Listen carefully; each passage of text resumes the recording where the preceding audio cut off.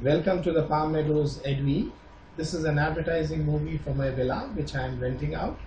It's a four bedroom plus property. The address is as you can see here and the map as you can see here.